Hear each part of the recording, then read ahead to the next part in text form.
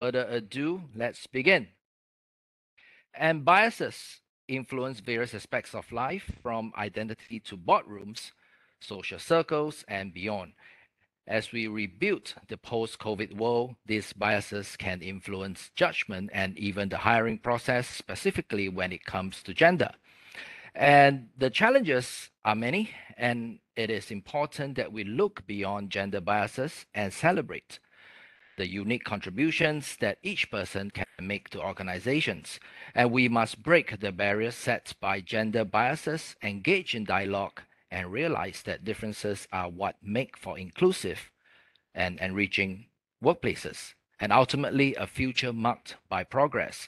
And today's roundtable discussion will examine the techniques we can use to break gender bias along with entire career pathway and subsequently close the leadership gap.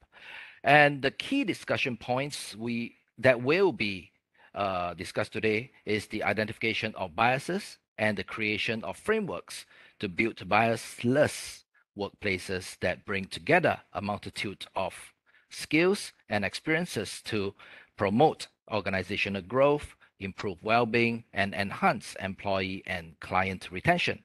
So how can cultivating growth mindsets create opportunities that can tip the balance in favor of women and career success? And how do you close the leadership gap in the workplace by disrupting the status quo? And to address these points and more, it is my pleasure to introduce to you uh, the roundtable moderator, Ms. Nina Michaels Kim. And Nina is IMA's Director of Partnerships, Japan and Korea.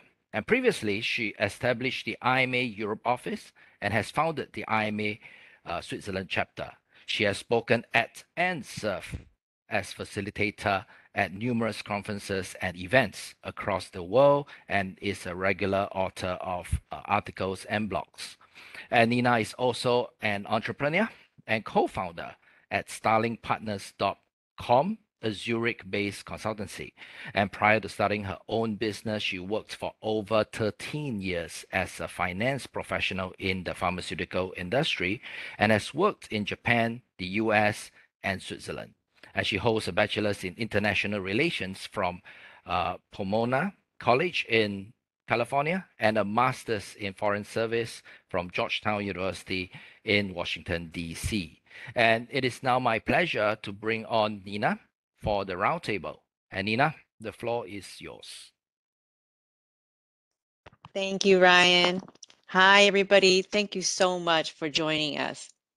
Um, as you may know, um, this webinar is part of a global series um, it's part of IMA's commitment to diversity, equity, and inclusion, DE and I. And you know, not only does IMA publish important research, which you may have heard from our press releases, but we also create opportunities such as this to discuss, exchange ideas, and raise awareness on bias. And that is one of the main goals for today's session. Um, mentioned before, this is part of a global women's leadership series of roundtables. It started out in India on May 9th, and last week it was held by our colleagues in the Middle East. And today, our roundtable featuring Asia Pacific speakers is the third of the series. And next week, the series will conclude with a roundtable from our colleagues in Europe on May 31st. Um, today's session features an amazing group of women, and I'm so honored to be the moderator. Um, and they are all high performers in finance and accounting, all certified management accountants, USCMAs, and they are transforming, breaking the bias on a daily basis. So before we start the roundtable, I would like to briefly introduce our panelists, um, starting in alphabetical order by last name, which coincidentally is also the alphabetical order of the country that they receive, uh, reside in. So um, joining us from Sydney, Australia is Mrs. Jane Sarah Lott. She is a results-oriented and commercially astute financial professional with over 12 years in financial management and analysis with her extensive background working in finance for blue chip multinational organizations such as Verizon, TTC, Chevron, and Ernst & Young. She brings diverse perspectives and a strong understanding of best practice financial management. In addition to her US CMA, she also received her graduate diploma of chartered accounting from the Chartered Accountants Australia and New Zealand. Passionate about continuous learning, she became a Microsoft Certified Data Analyst Associate and TIBCO Certified Professional on Spotfire. Jane holds a Bachelor of Science in Accountancy degree from the University Santo Tomas from the Philippines, ma- graduating magna cum laude. Hi, Jane. Welcome to the program. Hello, Nina. Very excited to be here. Great. So our next panelist, Ms. Ai Ono, is joining us from Tokyo, Japan. She has almost 10 years of experience working in financial planning and analysis, FP&A. Currently, she is an associate director of the FP&A team of CBRE Kabushiki Kaisha, the Japanese arm of CBRE Group, the world's largest commercial real estate services and investment company. In CBRE Kabushiki Kaisha, she has covered a variety of roles, including accounting and financial reporting. Her most recent achievement is the implementation of cloud-based corporate performance management software a newly minted US CMA since March of this year. Congratulations again. She also holds a bachelor's degree in accounting from the Fox School of Business at Temple University. Hi, Ono-san. Welcome to the program. Thank you very much, Nina-san. It's great to be here today. Okay, last but not least is our third panelist, Ms. Dai Eugene, based in Singapore. She serves as senior finance analyst within the Treasury Department in Johnson & Johnson, J&J. Since assuming her position in 2019, Eugene has been a strategic business partner for the affiliates in Asia Pacific regarding treasury related matters and leads the budgeting and financial closing of the Treasury Department. As a strong believer in diversity and inclusion at the workplace, she is a board member of an analyst forum that we'll hear more about later, and she is dedicated to protect the interest of all analysts from any form of bias. Eugene passed both CMA exams in one city in 2018, earning our gold medal for the highest exam score in that testing period. She holds a Bachelor of Business Account Administration and Accountancy with distinction from the National University of Singapore and has completed J&J's Finance Leadership Development Program. In 2020, uh, she was part of a group of volunteers to establish the IMA Singapore chapter. Hi, Eugene. Welcome to the program. Hi, Nina. Thank you very much for the introduction. It's a pleasure to be here. Oh, I'm so honored to be with you guys all. Let's get started. Um, so one thing I wanted to talk about is um, just about what the current status in each of the countries that you currently reside in. So, for example, um, as you may have known, IMA and CalCPA published a report last year on the U.S. accounting profession, the current status, and there have found that at uh, less than 14% of Fortune 500 CFOs are women. So, you know, despite the focus on DE&I topics that we always hear about, the current status is still kind of dismal. Um, so maybe to start off, I would first like each of the panelists to state how the situation is in whatever country you currently work and live in.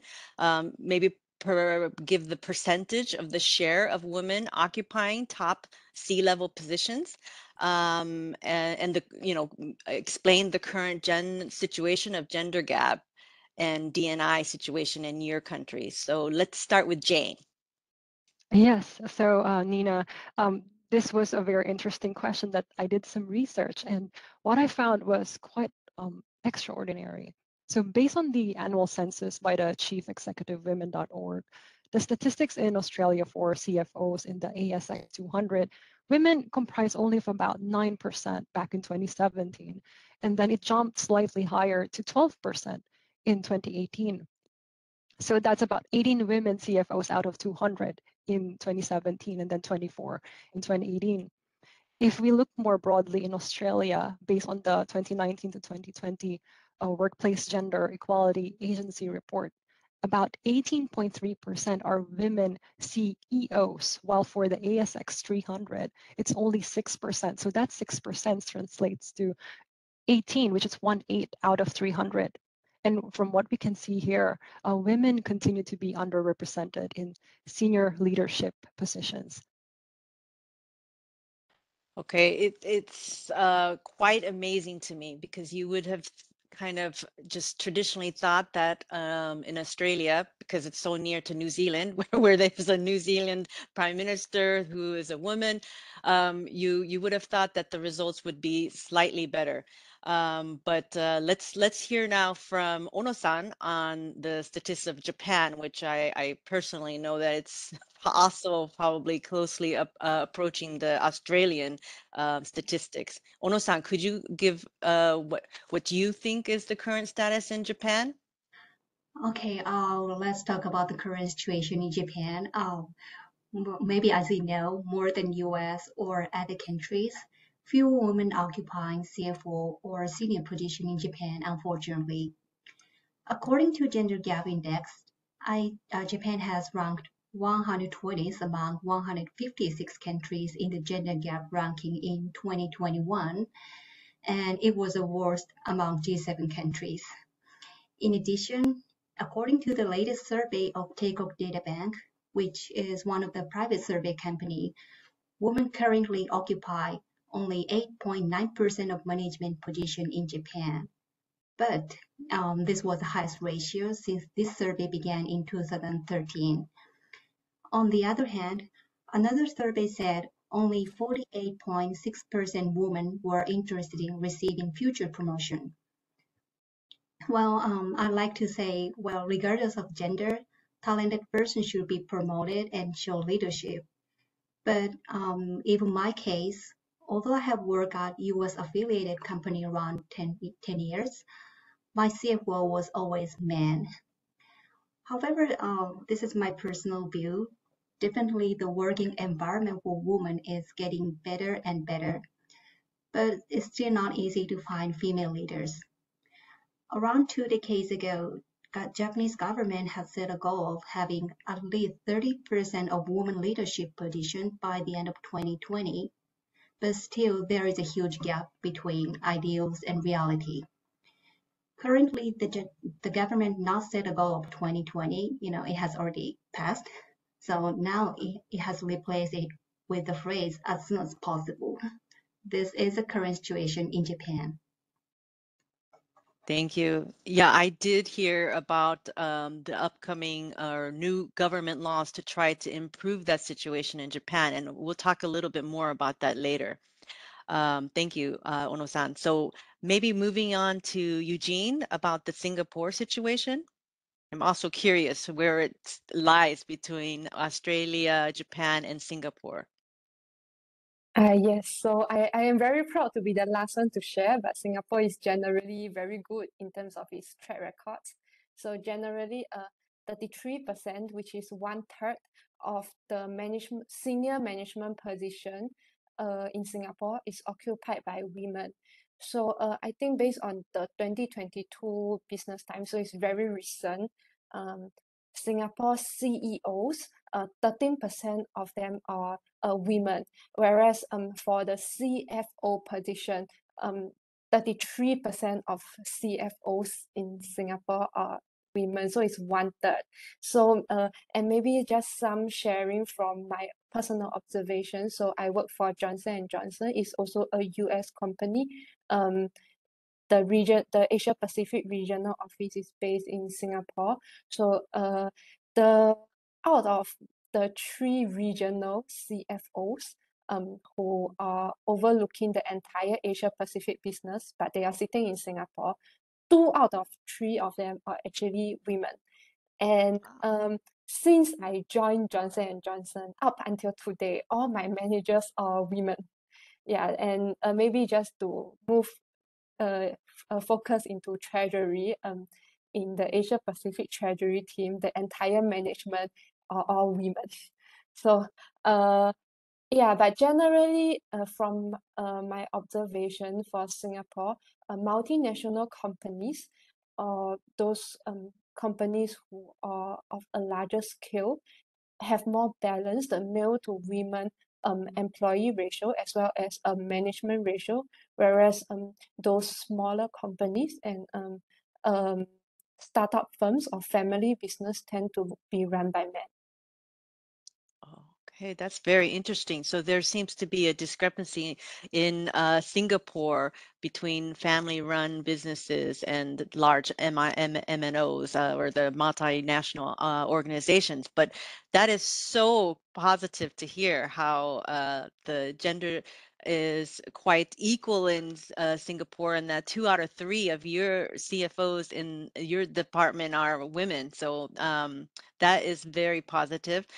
Uh, but on the other hand, the discrepancies of Australia and Japan still is uh, pretty dismal. And um, I don't know Yes, uh, amongst the yes. Would you like to Sorry, say something? so, sorry to No, disturb please. you, Nina. Uh, maybe uh, I give me around one minute. My computer is telling me that it's running out of battery, so I will go and grab a charger. Okay, yeah, no problem. Anyways, I'll I'll first discuss about the dismal things about uh, Australia and Japan. So it was the perfect timing that Eugene had to drop off for technical issues. So let's start um, with uh, Ono-san about uh, why do you think in Japan um, it is so bad with the diversity? You sta- stated the current status, but um, it would be great to hear your insights of what you believe are the barriers for women in Japan. Well, sure. Um, maybe as you're aware, there are several reasons, but the biggest one is definitely traditional gender roles. In the past, you know, many women are forced to choose between marriage or career. Now situation has been changed, so many women return to the office after giving birth. But again, you know, compared to other countries, Japanese society is still conservative in some ways, with men expected to support the family and women expected to take care of the home. Because of this background, well, sometimes women are discriminated against in the recruitment process, and even they, if they are hired, they are not given the same opportunities as male employees in terms of promotion because women are sometimes blocked from the longer term career path due to the assumption that they will quit the job after getting married and having children. Second is entry level position recruitment process is different from other countries, but actually this idea is also coming from traditional gender roles. Well, it doesn't apply to every company, of course, but especially local Japanese companies still apply this recruiting practice. So that idea is women, when they enter the company, they have to decide whether to pursue the career track or the non-career path. And I think it's very hard for a young woman to decide from the beginning. Once they choose non-career path, they generally handle only assistant types of jobs, and their chance of promotion are limited. And another factor is in case of Japanese formal business, especially men-dominated industry like real estate, relationship building often takes place offline over drinks after work. But um, due to COVID-19 environment, it has been reduced, but still drinking with coworkers and bosses is considered important relationship building tool. Yeah, I it's uh I also cover Korea and that is also very important Korea the um, informal gatherings after work but it is very difficult to do if you are um, responsible for um, children to take care of uh, getting dinner on the table but it should not only be women it should be affecting also males and and taking turns is something that my husband and I try to do although I mean yes uh, hopefully there's uh, really bad things about COVID, but one good thing is possibly that you know the the tight knit family and then decreasing of that, so that the people start thinking that that shouldn't happen every night of informal Right. gatherings. I'm hoping that uh, is sort of the trend too. Um, so it seems like Eugene is back. Yes, just in Okay. time. Okay, so um, maybe uh, so it was interesting to hear from I- Ono-san about the how the traditional gender bias still plays a lot in um, Japan, uh, and that also the relationship building that takes place is all very interesting. is a is a barrier um, and maybe you can explain, Eugene, why is it better in in Singapore? Like, what is the main difference? What do, does that even take place? Like, how traditional gender bias um, is that not even there? Like, is it not expected that women be the sole um, person in a family? Maybe you could elaborate on that.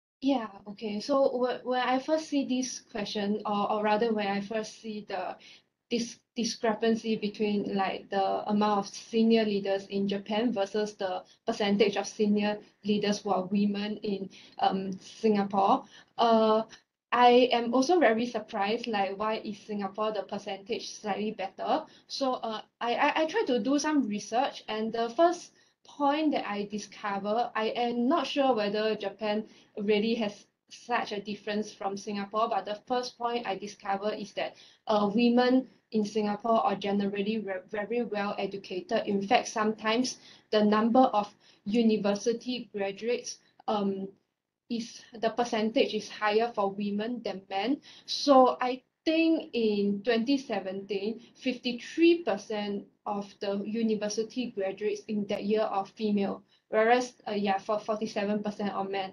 Uh, same thing is um for the age group of 25 years old to 34 years old, so the, the younger generation, uh, 90.2% of women and 90% of men have received um, secondary or tertiary uh, uh, has received post-secondary or tertiary um, qualification in Singapore. So as you can tell here, education levels are very balanced between men and women in Singapore. In fact, women sometimes receive um, even more education than men. So uh, because women are educated, um, most of us uh, tend to have the mindset that um, we will want we, we, we will have something to pursue. We, we want to have a career. We, we have our goals. We have our dream.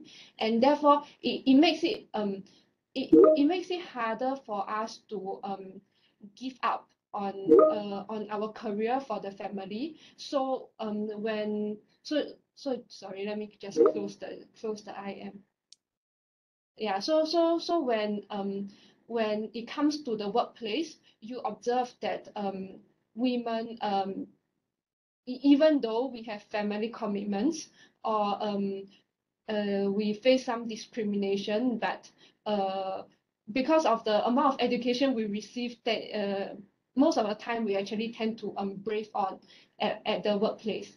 And then on top of that, actually, uh, in fact, it's the tone and the talk from Singapore government that is actually eliminating the discrimination and bias against women. So the amount of maternity and family support given to working mothers um, is very sufficient by the Singapore government. You have uh, 16 weeks of paid maternity leave. You have um, up to six days of paid childcare leave. Yeah, so um, and at the same time, government actually uh, kind of encourage, but I would say um, enforce um, employ uh, companies uh, that are based in Singapore to uh, apply certain um, family-friendly uh, policies. For example, a flexible work arrangement. It's been there even since before COVID. Uh, support schemes for working mothers, and some companies even have extended childcare leaves, as well as the government uh, up till uh, they, they target by the end of 2025, they are targeting to have more than 200,000 um, uh, full day childcare centers uh, to, to house all the, all the kids so that women can work.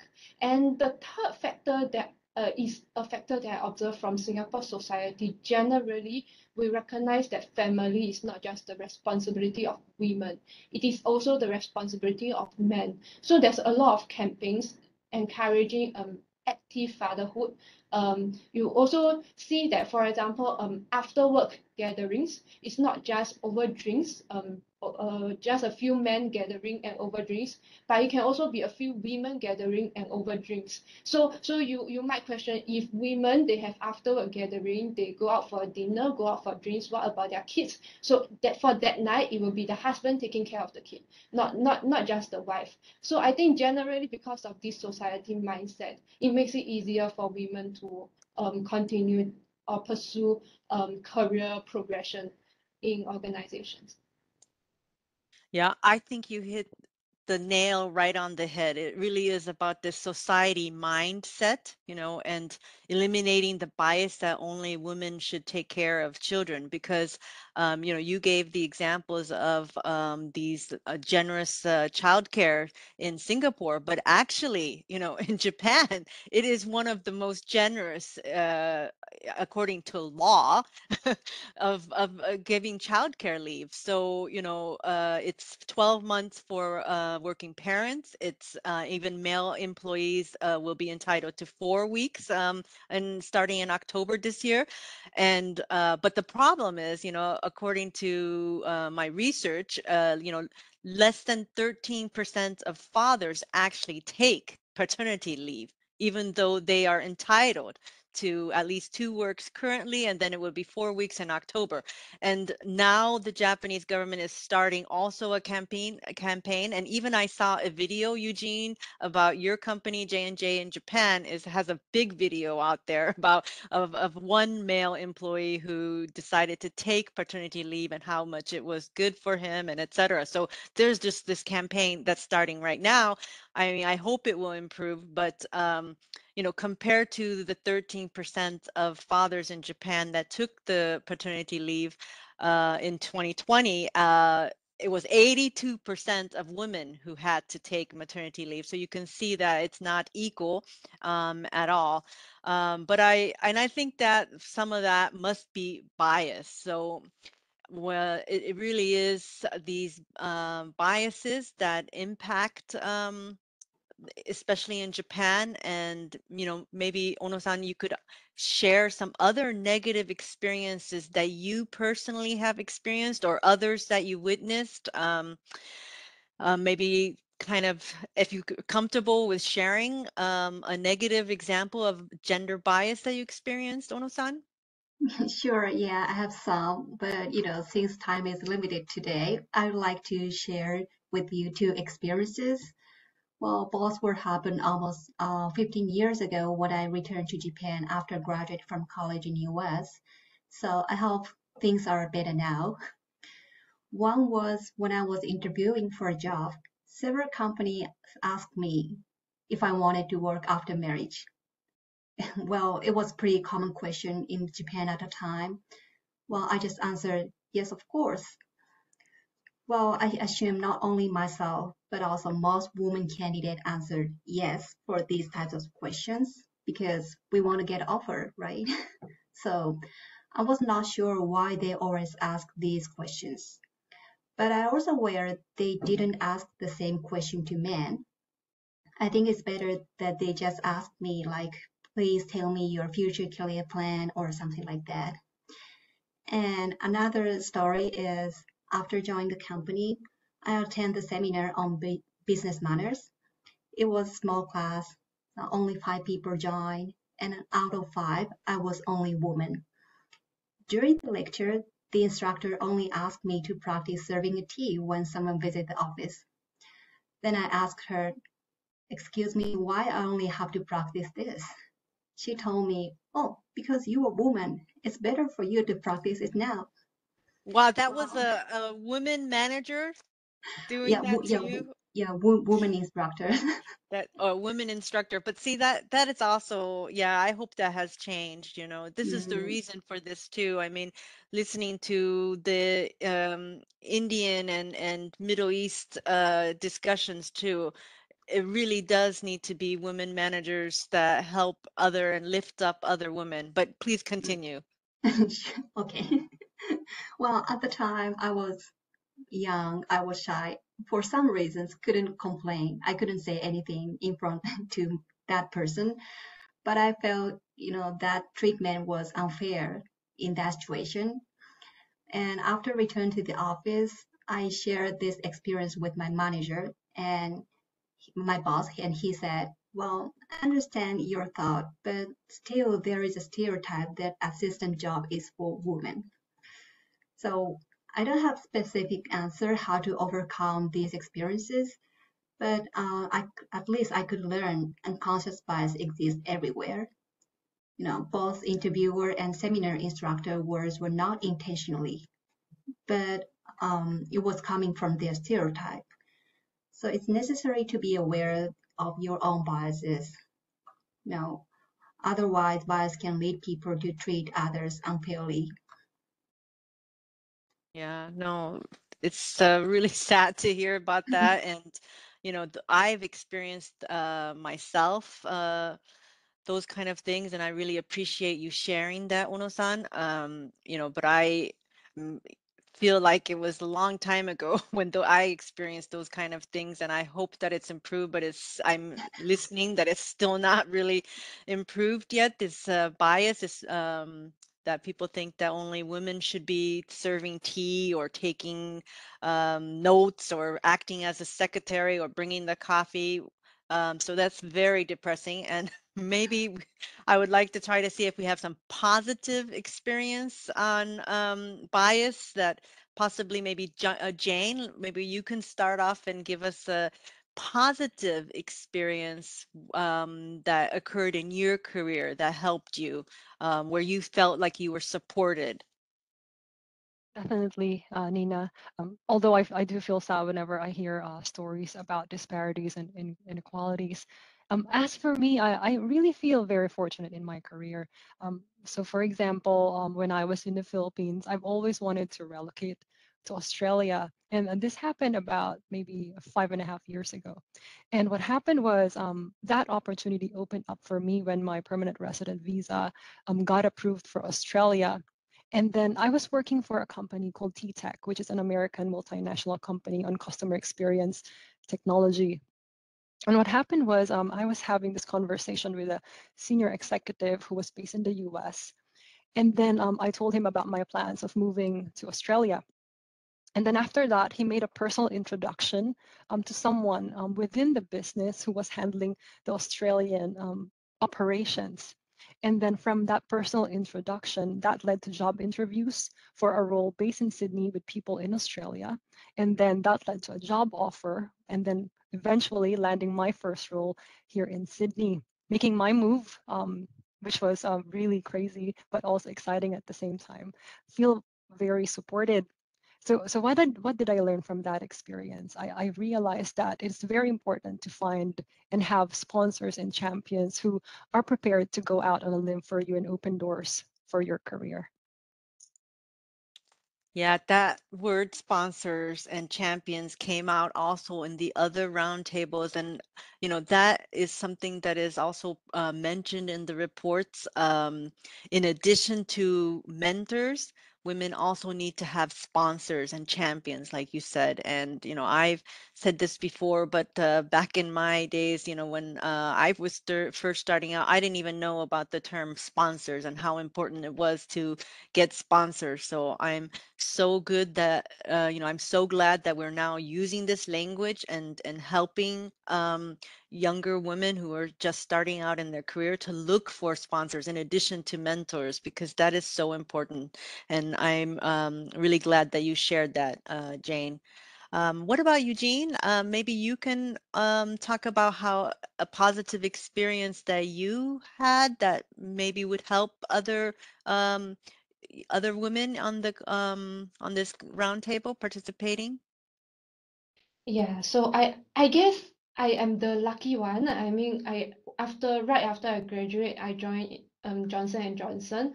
Uh, I kind of took um gender equality and um bias-free working environment as I kind of took it for granted. Yeah, so so to to to me it's like uh, uh cause my workplace um on uh norm normally so far I have not seen any like really um gender inequality of biased behavior occurring. But maybe let me share one experience, not by me, but by a colleague who, um, uh, this is a very positive experience, who got supported to come back to work after staying at home for a few years. So Johnson & Johnson is actually very supportive of uh, mothers who are returning back to the workplace. So um, my my colleague, I uh, I met her after she joined Johnson & Johnson. She was explaining how um, she spent a few years at home and she found it very challenging to find a job uh, after afterwards. And Johnson & Johnson hired her and gave her the opportunity, ease her back into the working environment, um, gave her the enough support so that she excel at her work. And not to mention that within these few years that I that I personally know her, she actually applied to my senior management team asking for a one year sabbatical leave so that she can take her son for the um, primary six um, uh, school leaving examination so it's one of a very big examination in Singapore so she she was she uh so so she she she tried to apply for sabbatical leave. She thought she would be rejected but actually she was encouraged. So she was told that um your son's um exam is more important. Uh please take this year off. We will retain the position for you. After after your son um finish his exam you can still come Wow. back to this position and work yeah so I guess I kind of took uh, this kind of gender uh, bi bias free um environment for granted. So to to me this is normal. So uh, when I hear of all the gender bias um the the treatments actually I I I sometimes I get very angry about it. Yeah, I know, especially because of the when women are uh, well educated like yourselves, um, well established, working really hard. It, it is despairing to hear about this. But I mean, thank God that, you know, your story and then Jane's story too proves that, you know, there are people who support women.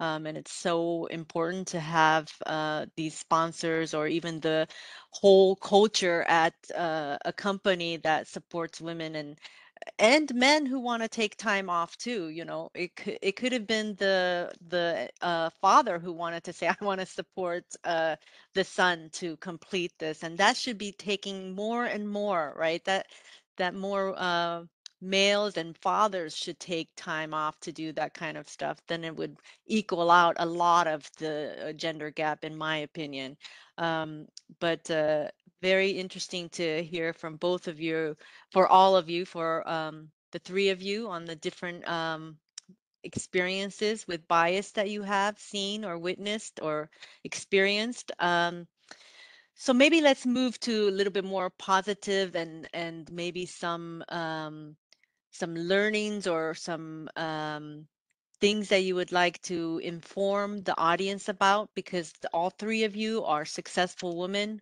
overcome if you have experienced gender bias um, or have been supported um, by sponsors, um, and you're standing here as established uh, women in finance and accounting.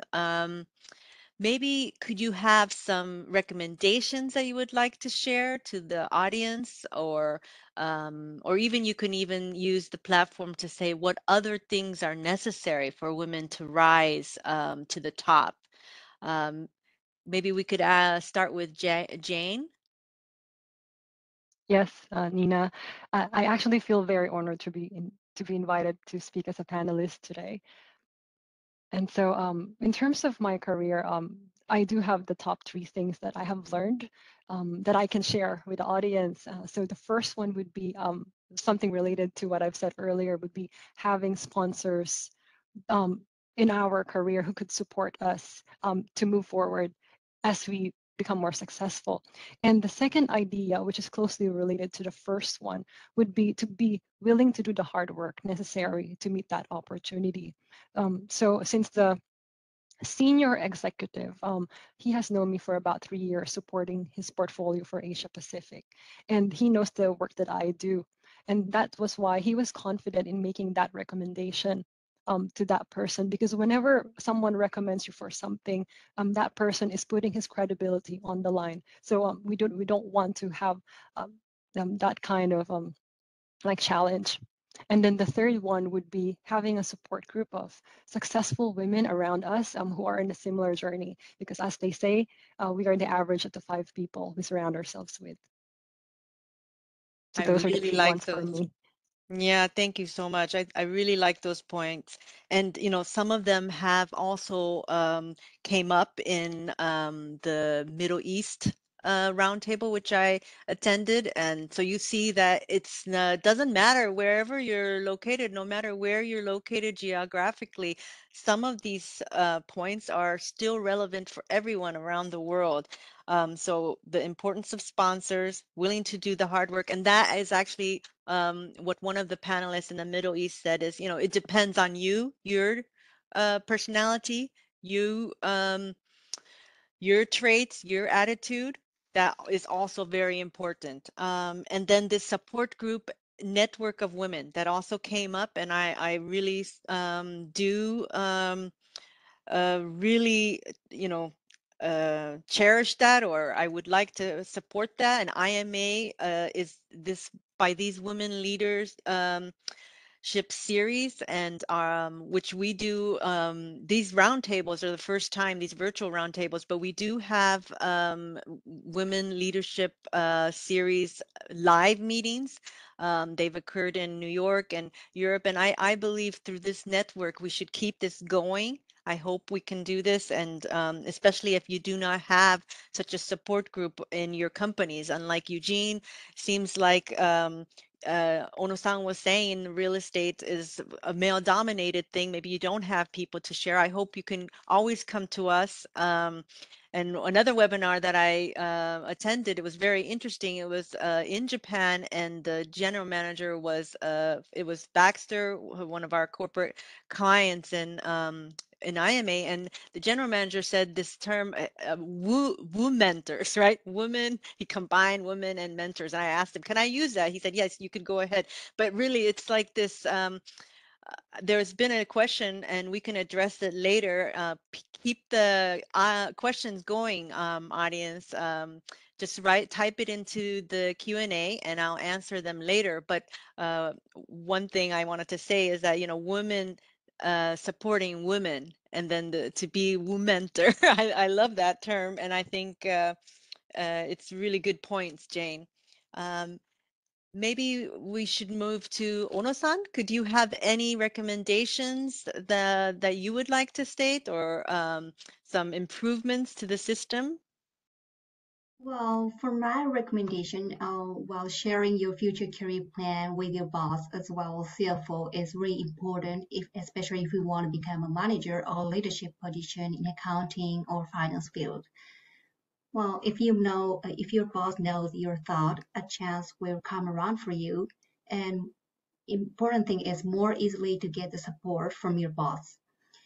In my current company, all employees have, submit, have to submit career development plan every year, which is asking about the midterm and long-term career plan.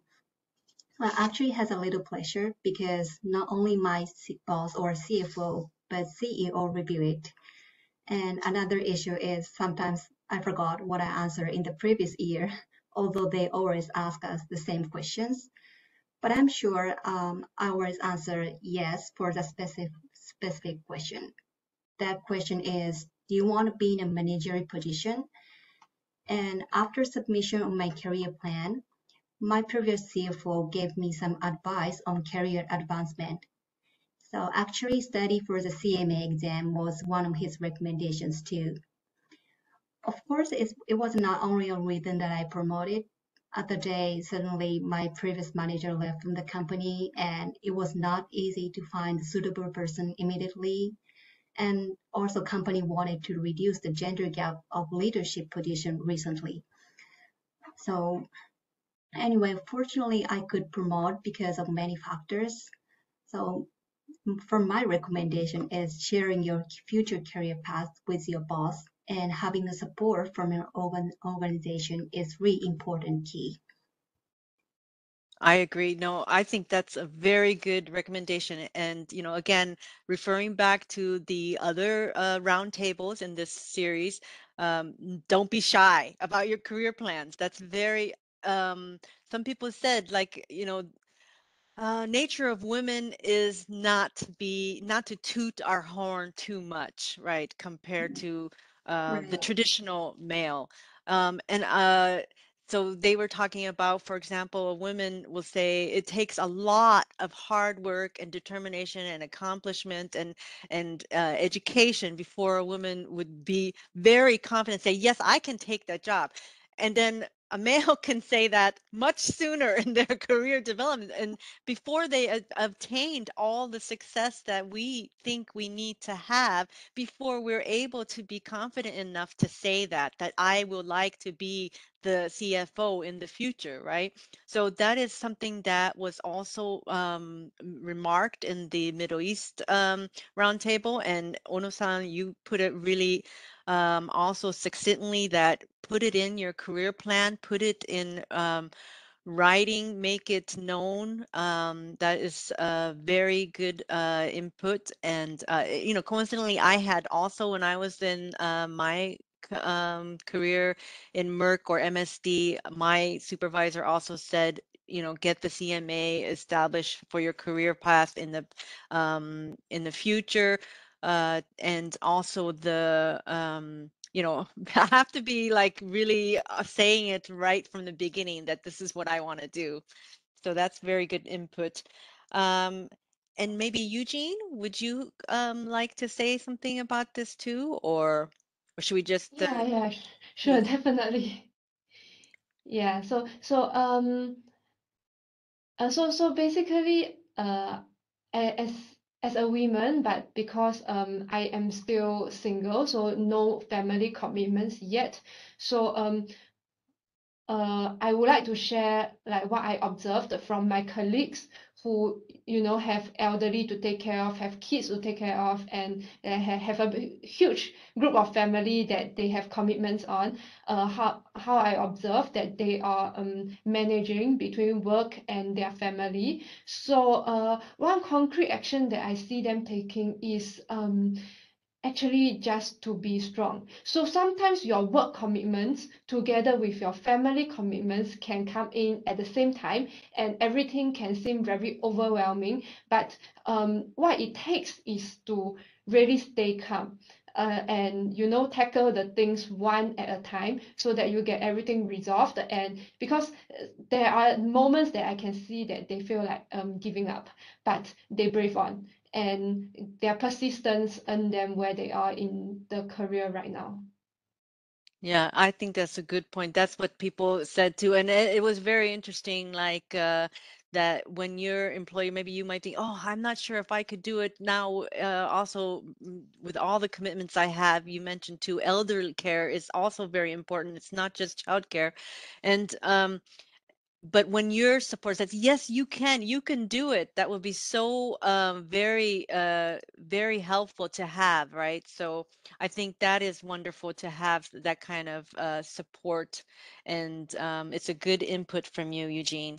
I know we've uh, talked a lot about the j and j's um, how uh, supportive j and j is. I wonder if maybe we could just we come back to that again later but maybe jane could say something a little bit about what um, other um, things that your current or previous employers are doing to um, nurture bias-free um, workplaces and corporate cultures um, any good strategies from from the employer side because that's what we should also be doing as part of this panel discussion to have Um, and create uh, bias-free say uh, um, spaces please go ahead uh, jane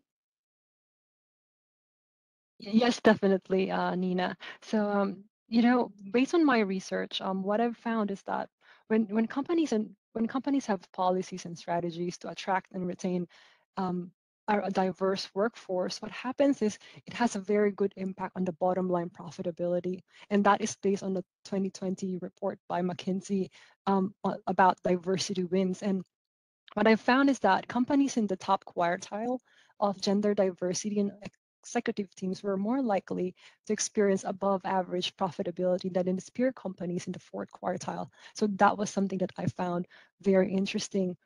Mm, With regards to the company I'm currently working for now, which is Verizon, um, I'm just really excited because um, there's a lot of um, traction and understanding with regards to the importance of DEI and how it demonstrates its commitment is through various strategies so that it could attract um, top talent Um, the the top there are quite a lot, but the top three that stood out for me would be first uh, the employee resource groups, and these are groups which provide a forum for both professional and personal development. Um, two the two of those that stood out for me was WAVE, which is a Women's Association of Verizon Employees, and PACT, which would be for parents and caregivers together. The second one, because I, I like listening to podcasts, would be Lifting Up. And this would be about uh, stories um, from Verizon women leaders um, sharing their stories and the wisdom um, that they've gotten to get to where they are. And the third would be um, commitment to pay equity. Um, this one stood out for me because um, according to the um, workplace gender equity agency report, um, there's a, an, on average a 13.8% gender salary gap. And then when you go up into management, manage the, the management gender salary pay gap is about 23.3%. So the, the top three employee resource groups, the podcast of, of lifting up and commitment to the pay equity. Very nice. Very nice to hear about all those initiatives that are ongoing, Jane. Uh, thank you for sharing that. Um, and I don't know if we have a little bit more time for Eugene to uh, maybe add from uh, other policies or other concrete examples to create a safe and open space that uh, were not that have not been covered yet. Do you, would you like to share some from your side, um, Eugene? Yeah, so uh, I think J and J is a company that thinks about diversity and inclusion. So it's not about it's not just about um gender bias, but it's about bias in all different aspects. So ba basically, um, because of this strong tone at the top, we, we, we can comfortably say that, like for example, promotion opportunities is fair for everyone, no matter who you are or what you are yeah and then uh we have like something like annual diversity and inclusion week whereby uh different self-help groups for example the lgbt self-help groups or the um women self-help groups or the mother self-help groups they will they will organize talks and panel discussions something like what we are doing now but we invite some um cfo female cfo to share their career experience to everyone else um so uh, to to to to all the rest of the employees to tell us how um if we want to be like them this is what we need to do. Yeah so and also J and J give a lot of um flexible working arrangement to um working mothers. So working from home did not just start from COVID. It was uh, it was already there way before COVID. Uh, if you have family commitments just communicate with your manager and uh you can always um arrange your work flexibly so that you have you can take care of your family. So uh, uh and also um actually Johnson and Johnson pay you uh, subsidize your delivery fee. So if you want to be a mother if you give birth you get money. Yeah so so so uh yeah so basically it's a lot of actions in place to uh let us feel that women is supported in the workplace there is no biasness. Um even the even the every employee should be treated equally. This kind of words are actually pasted everywhere in the in the company in the office. Yeah so so I I, I guess it's this kind of um, environment that make all of us feel safe I like that. Yeah. So it's tone at the top and then even following through, right? That's yeah. very important. Um, I and creating the safe space. I, I love that. I love to hear that there are people who are, you know, really have experiencing a safe environment to be themselves um, and uh, really embracing diverse uh, cultures and um, trying to even improve on that. That's wonderful to hear. Um, and I think we still have before we have to go to the Q&A. I've seen some good questions. Thank you so much for um, continue to send that to us, um, audience. Um, if uh, you want us to cover something that you haven't heard yet, um, so maybe we'll start um, have two more questions before we go to the Q&A um, on our panel, our roundtable. Um, and maybe I'll start with uh, Jane. Um, maybe you could be willing to share some of what you yourself are contributing to diversity, equity, and uh, initiative initiatives um, in your company? I'm sorry, diverse D, E, and I, which the I stands for inclusivity. so diverse, equity, and inclusivity initiatives, um, and how you're raising awareness at your own company or training within your team or company. Jane? Uh, yes, Nina. Um, interestingly, this is a- this question is actually um, like a call out for me because um, I've been working remotely most of the time, and I haven't been as active as I wanted to be uh, internally. Although um, externally, I I've been much more active um, at that. So at the moment, I am part of um, a group of executive women um, here in Australia um, under Amanda Blesing's um, She Suite Club, which values um, diversity, equity, inclusion, and women empowerment. Because I do believe that when women support each other, uh, we all win. Oh, that's so cool to hear. Yeah, I I want to do more about uh, that myself. Um, it is uh, it's actually like a little bit these questions and this roundtable is like oh yeah i need to make sure that i'm doing more of this and especially with covid it is harder to uh, participate um, but that is uh, very interesting the she suite club yeah with uh, yeah I, it's a very interesting initiative um, jane and uh, Eugene, we mentioned this before, but could you um, a little bit elaborate on the diversity and um, inclusivity group that you're part of?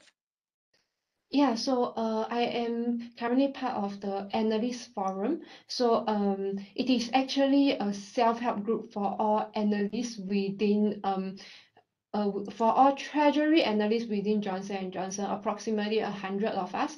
So uh, yeah, just, just this hundred of us. So uh, this group does not specifically target a gender inclusivity, but it broadly targets the uh, idea of um, diversity and inclusion of all employees. These self-help groups, we organize activities to bond all the analysts together to help the analysts to network as well as um, we are there to help um, all the treasury analysts whenever they have questions or concerns or issues if they find that it's challenging to go directly to the manager they can speak to um, the six of us um, globally. So uh, six, there's six of us on the board. Uh, we are actually based in four different regions so that um, the employees in each region can approach the specific one of us directly for help if they need to.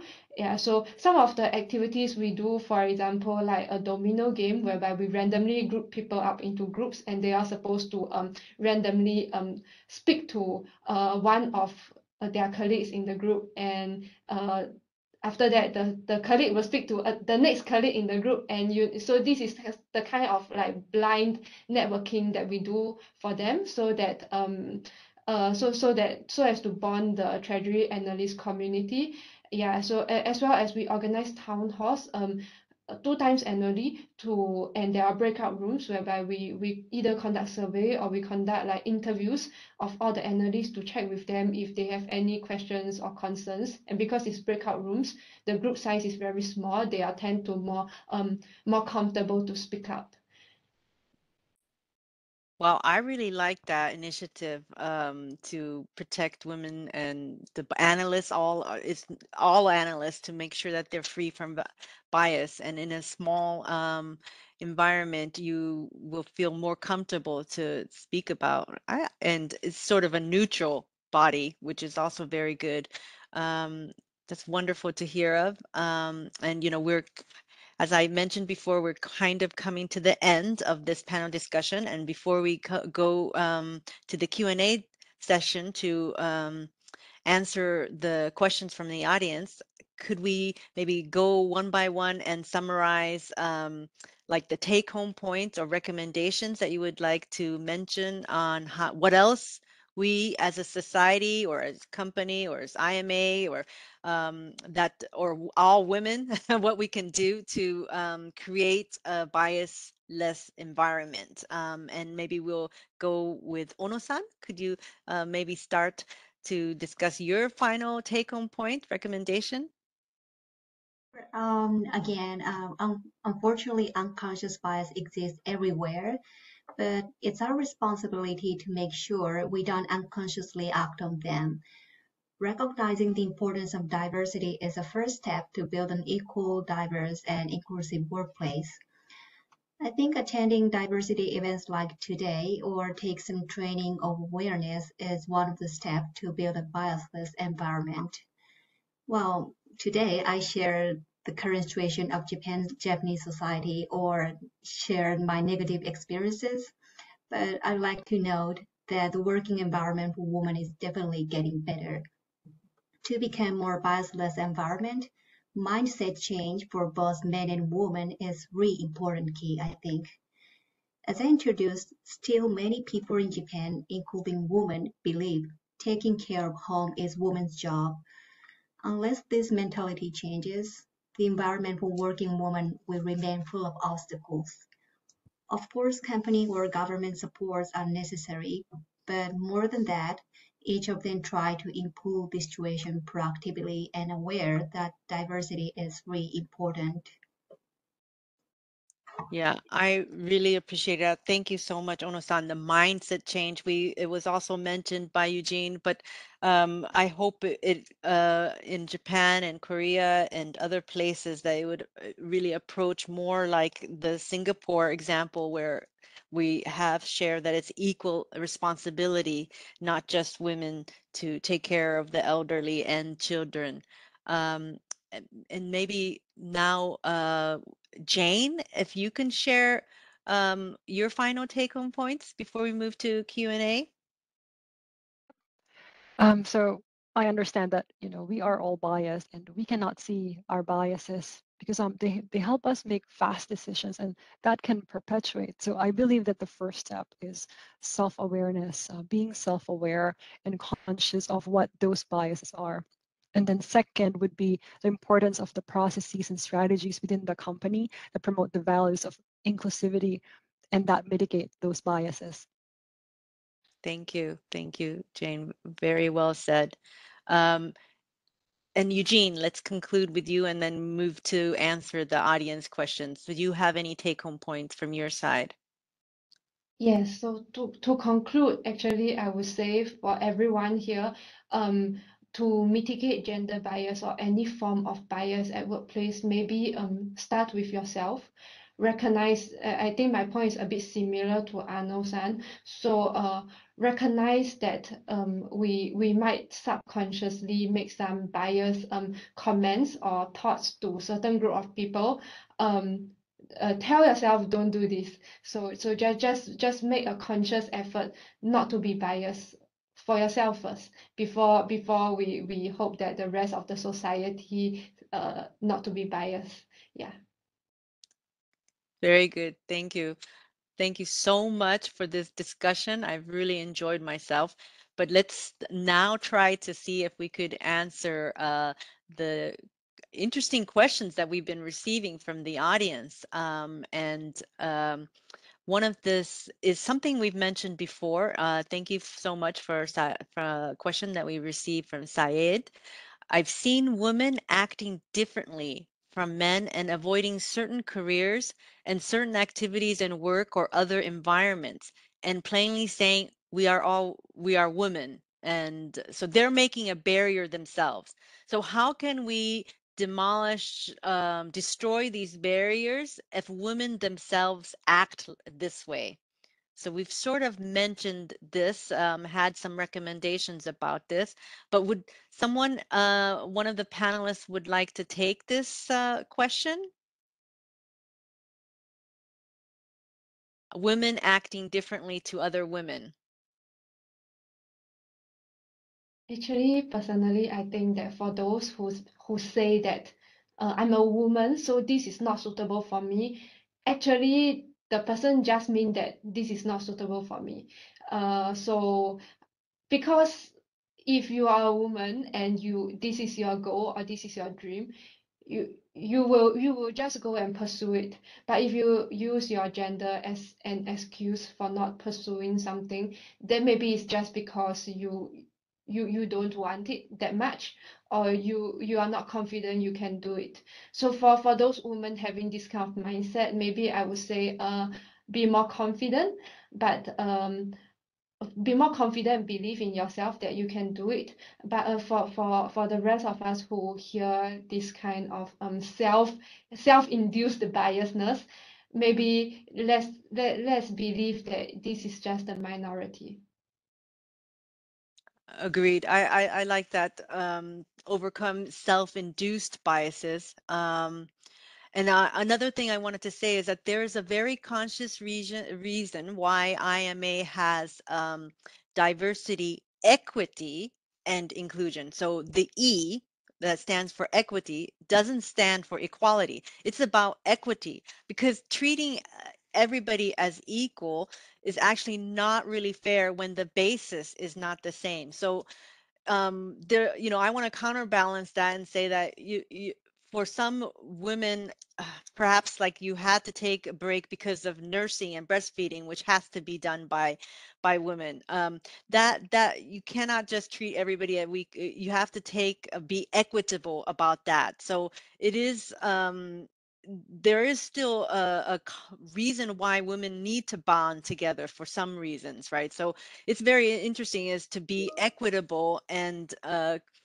hopefully bond together with that with each other and not um, you know be inequitable to all women so i hope we were able to sort of answer that it's a very difficult thing because you don't want to self-induce any um, bias yourself. You have to be aggressive and um, take all of the career opportunities that are offered to you, but also stand up for your right, right? Like I, I really stood up when I was there, and I'm, I really appreciate that. That was an MSD. They gave me an office where I could, you know, I could go to the details, but breast pump and all this kind of stuff. But you, that was very, very um, positive for me, and that's why I was able to continue in my career and was even able promoted even in that state. So I, I think it is something that um, you it's it's a balance, right? You have to stand up, but also um, not self-induce the bias. So okay, I hope I was able to answer that. The next question I received, or and thank you, Eugene, for for being brave and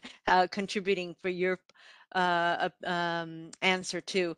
So the next question is from Kizel. Um, what do you think is the greatest edge of a woman in a competitive corporate workplace, especially for women who are just starting out, like as an entry level employees? Okay, this is very interesting. What is, um, and we, um, we're also discussing that um, during our rehearsal and stuff. What do you think is the greatest edge of a woman in a competitive corporate working place? So um, maybe um, would somebody um, care to talk about this? One of the panelists, what's um, especially entry level employees?